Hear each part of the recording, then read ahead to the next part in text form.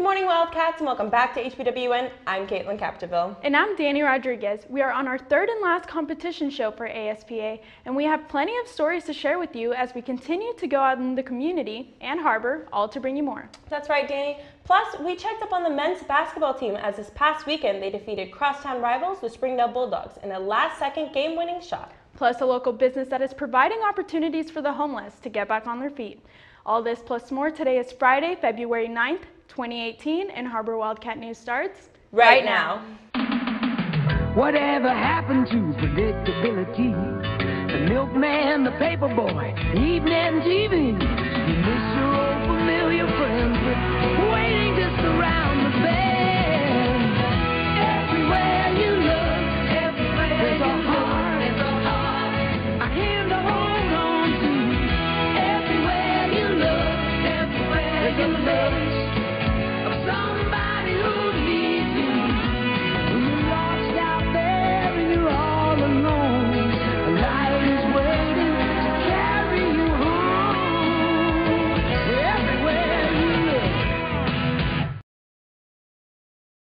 Our WCSN crew has been an avid part to the athletic programs, live streaming every football, volleyball, and now basketball games. This week, Nick Lucho was standing by with Tyler Perry to tell us his story of coming from very humble beginnings to the star junior guard he is today.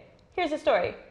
After a rough environment growing up and some hard obstacles in Tyler Perry's life, he's proven that he can use these events to make him stronger in every aspect of his life. Six, five, Perry to the rack, off the glass, good! Perry off the rack, Hempfield's full court shot, no good, Har-Ber wins!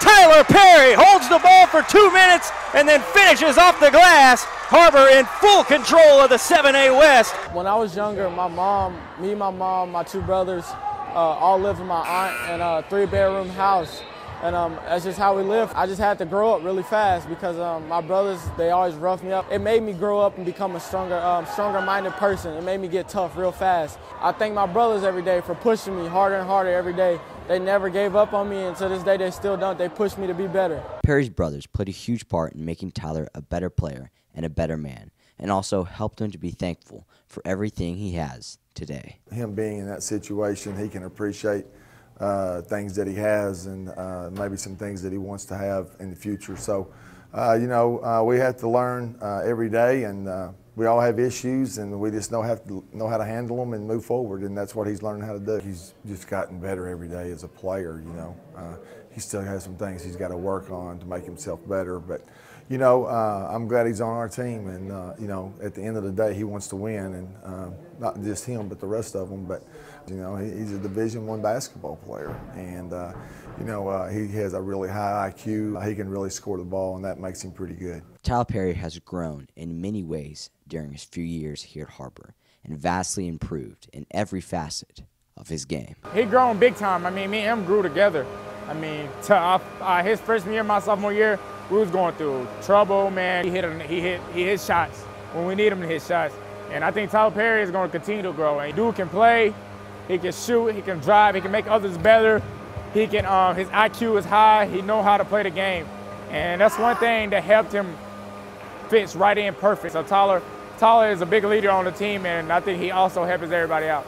Har-Ber has taught me a lot. It's, it's brought me uh, a lot of ups and downs. And through this past three years, I've learned so much from Coach Bolin, from the teachers, from my teammates, from all three years.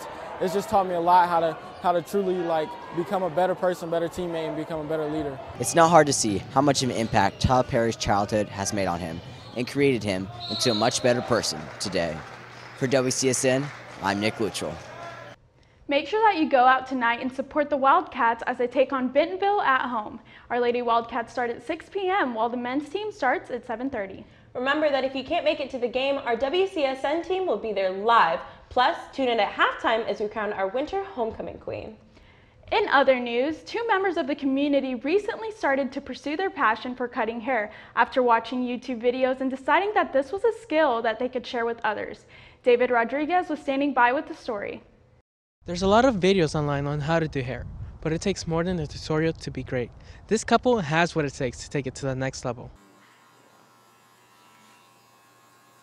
I started when I was 18 years old, right after high school. I would go get uh, haircuts at uh, salons, and I was always really unhappy with my haircut until I went to a barbershop and I told my friend that owned the barbershop that I was in- interested in learning how to cut hair. And uh, he gave me a pair of trimmers, and I had a pair of clippers that my dad had. And ever since then, I started practicing on myself, on my brothers, and uh, I fell in love with cutting hair, and now I, I want to make it my career. It is clear to see that practice makes perfect, but even those who haven't been in the practice as long can still thrive in this industry. I've been cutting hair for two years now, and it all started because you can show how creative you can be, especially when it comes to hair. You can create many different updos, you can do different colors, and the different haircuts that there are. And I feel like hair really changes a person's self viewing and confidence. I chose this career path because, like I've said before, it just changes somebody's view of themselves. I know that it changed mine whenever I've gotten different haircuts, either they were bad or good. And I wanted to create a good experience for everybody out there that's trying to just do something different with their lives, with their hair. It started a little in high school. I was doing updos for prom, but I didn't consider it then till like three years later when I wanted something simple, fast, and wanted just a job that I could get to it right away. Passion definitely leads to success. It can be seen that Javier and Vanessa love what they do, and their employers feel the same. Vanessa's very upbeat. She's very positive. She's uh, willing to, to try new things, and um, she gives great shampoos, great colors. She is uh, very happy. She's always there to assist us if we need help, and very cooperative. I recommend people to go to Vanessa. She is great. She is, she is very good. She's always willing to try new fun colors or uh, traditional haircuts and colors, or a little on the funky side. Be sure to visit Javier or Vanessa if your hair ever needs a touch up. For HBWN, I'm David Antonio Rodriguez. JR's is located in Springdale behind the DMV, while Javier is a freelancer that can come to you wherever you may need. Be sure to stop by and see for yourself how they can change your outlook by just a simple haircut. Well, we're going to take a quick commercial break to hear from a few of our sponsors, but when we come back, we'll hear from an athlete from Har-Ber overcoming all odds. Don't go anywhere. HBWN will be right back.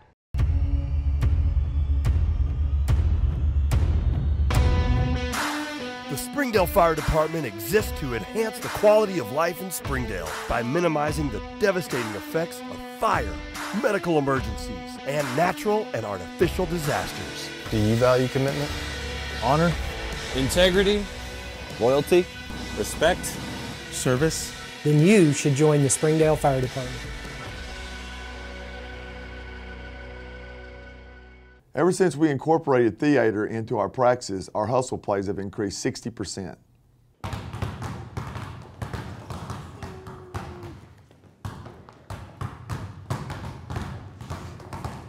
No, no, guys, I need more emotion. I want to feel it. Show me, show me the emotions. Oh! Here at Har-Ber, athletes make things run much smoother. Need a runner.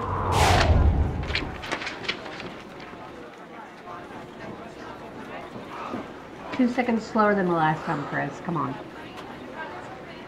Fast Lane Entertainment is a family friendly establishment that provides 75,000 square feet of wow with a state of the art bowling alley, with arcade games, a two story laser tag arena, and spin zone bumper cars, with 10 party and conference rooms for birthdays and group events. Fastlane has everything you need for family friendly fun. Find us on Facebook or fastlanebowl.com. Hey, you want to buy your book? No, I don't think so.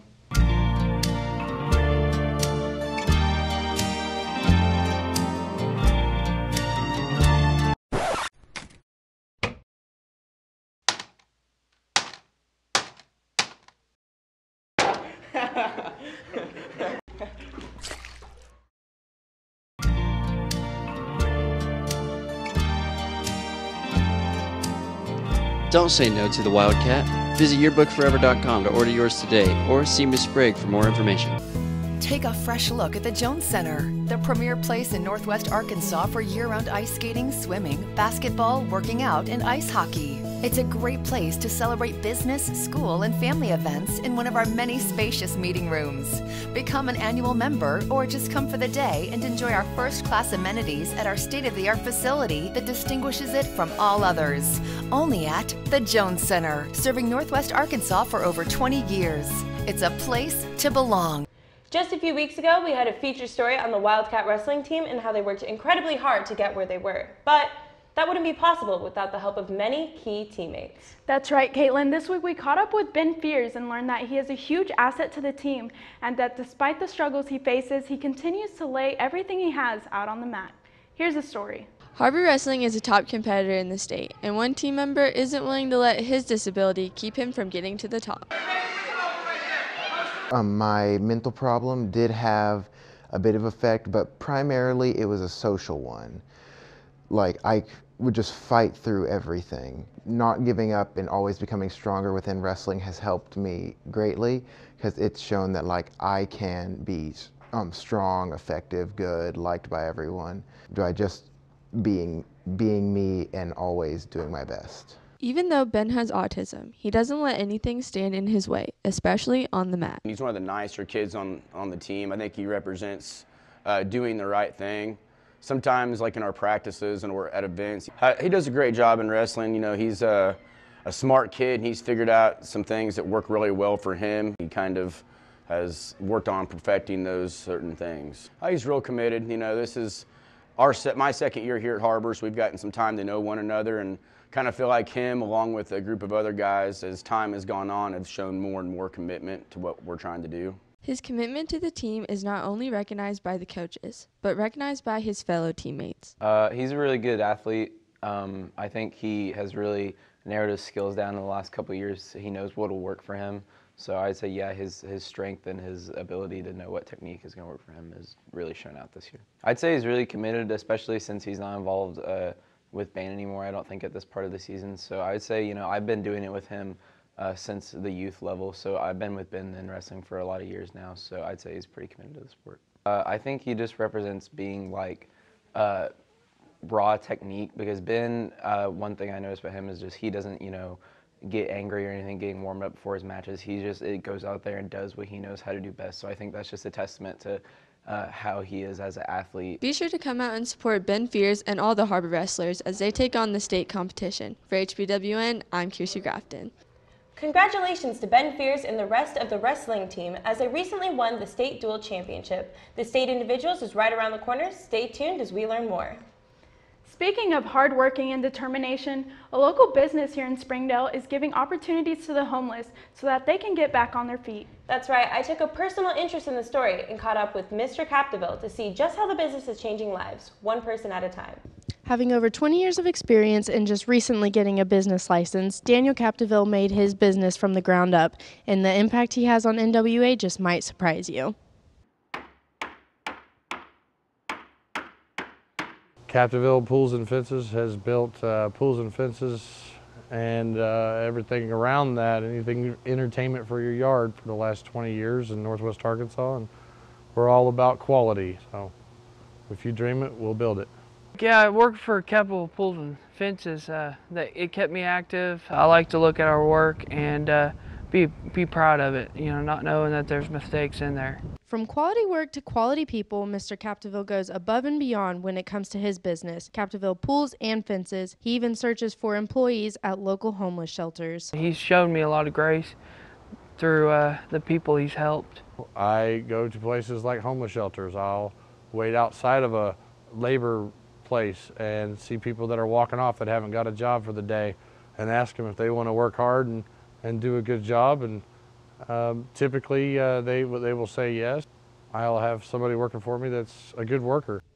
He helps his customers, his employees, and homeless people in need of a helping hand. Mr. Capdeville is always seeking to help those in need. Uh, Daniel's awesome. Uh, he's funny. He's um, very knowledgeable about everything that he's walked me through, talk, talked to me about. I like what I do. I love uh, building things with my hands and working with my hands. Uh, I like to uh, just see the final product when I'm done and see a happy customer. From giving the homeless a place of employment all the way to producing quality work, Mr. Capdeville is truly aiming for a better society. For HBWN, I'm Kylie Wright. That story was incredibly inspirational, and I think we could all learn from one another that helping each other in the community could make even a small impact in someone's life. Yeah, I got to sit down with some of the workers of Capdeville Pools and Fences, and it was honestly interesting to hear their stories and where they've come from and how Capdeville Pool and Fences has impacted their lives and turned it around for them. Absolutely. Well, that's all the time we have for this week, but be sure to tune in next week as we change things up a little bit and let a few of our other anchors have a chance behind the desk. Plus, we may bring back some of our favorites like Lie Witness News or even Shenanigans. For HBWN, I'm Dani Rodriguez. And I'm Katelyn Capdeville. We'll see you next week. Whatever happened to predictability? The milkman, the paperboy, evening TV. You miss your old familiar friends, but waiting just around the bend.